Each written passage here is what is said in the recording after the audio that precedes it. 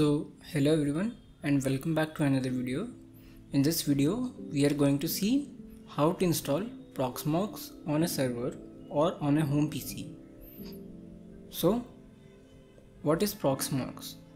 So Proxmox is a hypervisor layer on which we run multiple virtual machines or run applications in container on the same operating system.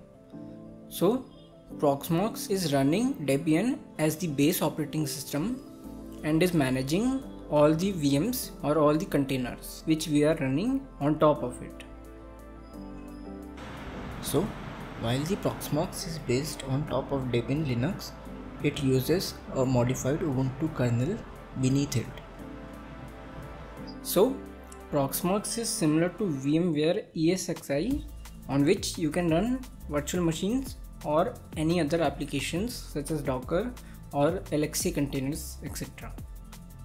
So to install Proxmox just select the option of install Proxmox VE and the graphical option and if you encounter any issues you can go for the terminal option in which the UI may not look as pretty but it will help you debug the configurations.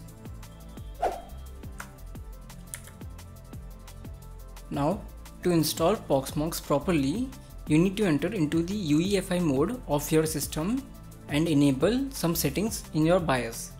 So you need to enable the virtualization technology to run VMs and other things on the machine. So just enable it and then you have to go into the boot options and in the boot options you have to disable the secure boot to run the Proxmox. Now just disable the secure boot option. And also to boot from the USB disk for the installation you need to select the UEFI disk of the USB in the first priority order or you need to press some combination of keys which enables you to boot from the USB. So for my system it is F9 but you need to check in your manual for the key options. Now I will just save these settings and exit the UEFI bootloader which is the BIOS.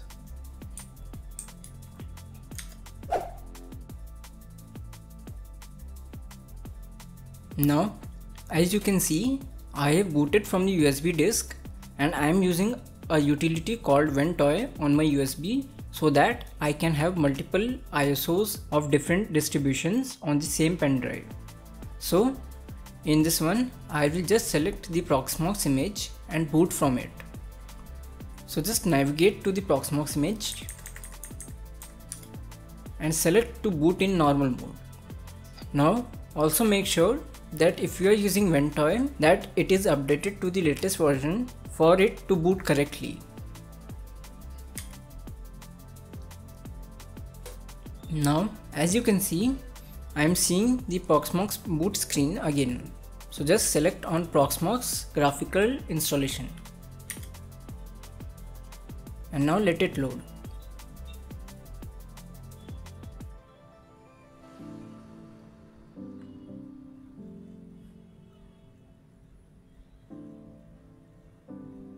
So as you can see now we are in the Proxmox installation window and here we can see the end user license agreement or terms of conditions. Now just click on agree button. Now select the target hard disk on which you want the Proxmox to be installed. So here I have selected my hard disk or the SSD and then click on next. Now here select your country, time zone and the keyboard layout. And after doing that, just click on next.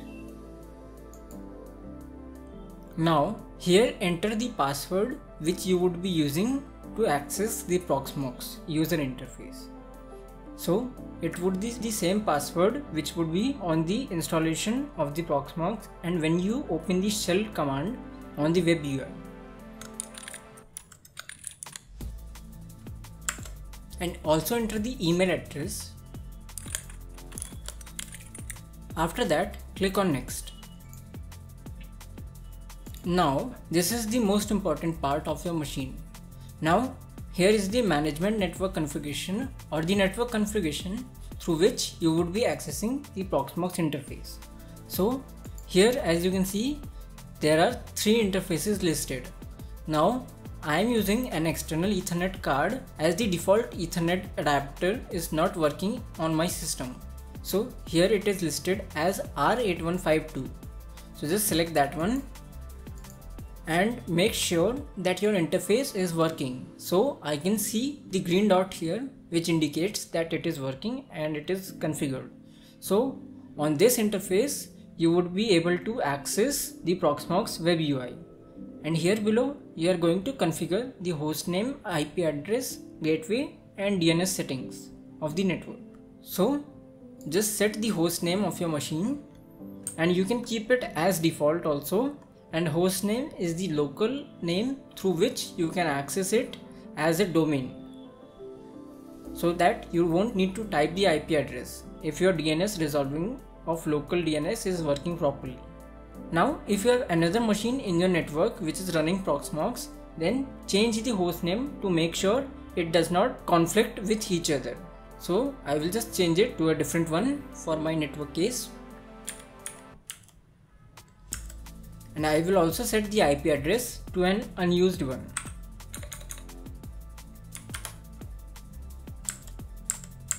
And rest these settings are okay for me. So I will just click on next. Now it is just giving a summary of what is going to happen on the Proxmox machine. So just check it, verify and then click on install. So now just let it install and wait for it. So as you can see the machine is going to reboot on the specific IP address. So now your system is going to boot from the Proxmox installation on the specific hard disk or SSD.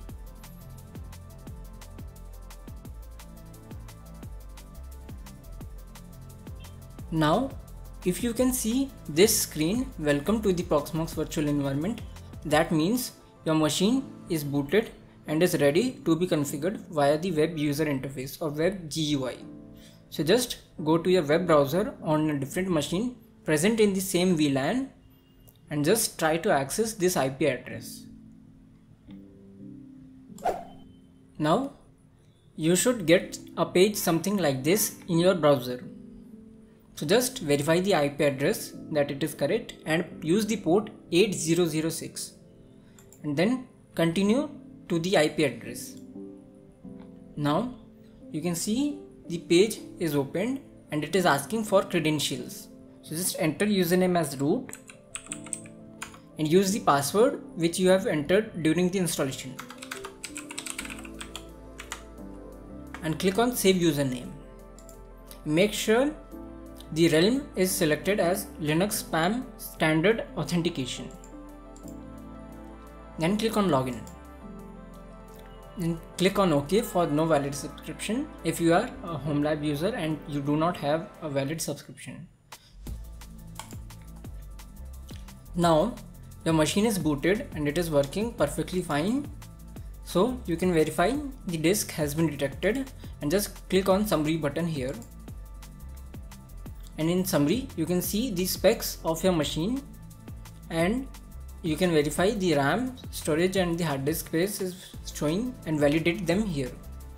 Now this hard disk space is for VM and ISOs of the VMs. So this hard disk space is showing the space which can be occupied only by the ISOs of the installation files or it can be used by backups. And here the local LVM is where you can store the VMs. so here you can see you can store 147 GB worth of VMs or virtual machine disks. And it is also the storage for container volumes like LXCs. So here you can see if you have any VM disk or CT volumes present. And here in the locals you can have the backups and ISO images present. So just go to updates and go to repositories.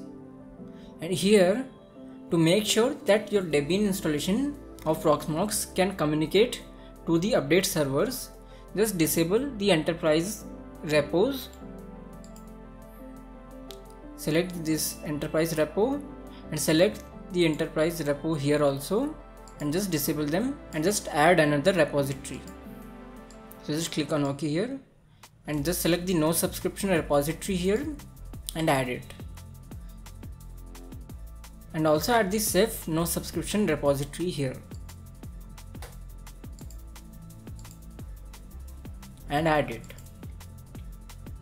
Now just reload the repositories and your machine is ready for updates.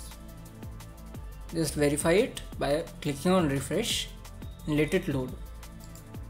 So as you can see there are some update files which we need to update on the machine and this is done. So you can upgrade it now or upgrade it later. Now I have posted a video earlier in my channel on which you can see how to configure a Proxmox machine to be on the VLAN network.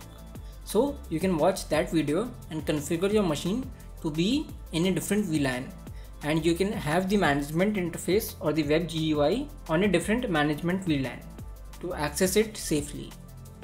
So just click on the I button above and you can watch that video. Now for managing the PCIe pass-through on your Proxmox machine, you need to go into the shell here and just add a few commands or lines. So now just edit your grub configuration by typing and click on enter. Now here just look at this line and after the quiet command just enter intel underscore iommu equals to on and iommu equals to pt which stands for pass through and just verify these commands and save it now and if you are using an AMD processor just enter AMD underscore IOMMU equals to on instead of Intel. Now after that just save the file and exit it and refresh the grub file. Now just type update grub and click on enter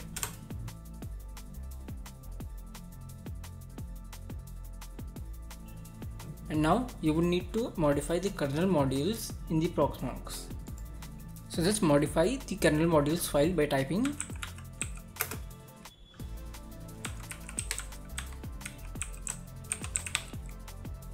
and click on enter. Now as you can see this file is blank but just add these four commands and align them properly and now you can save it. So as you can see this command is not needed. So I will comment it out. As my kernel is newer than the 6.2 version. So just save it. And exit it.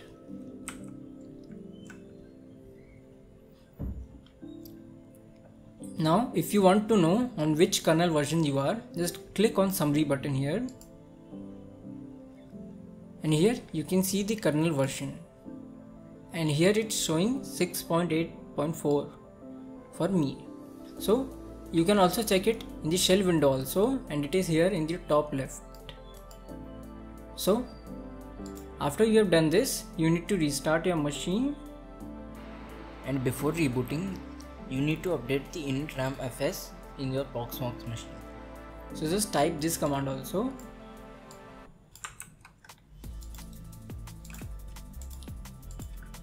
and click on enter so now your image file of kernel is being updated. And once this is done just reboot the machine.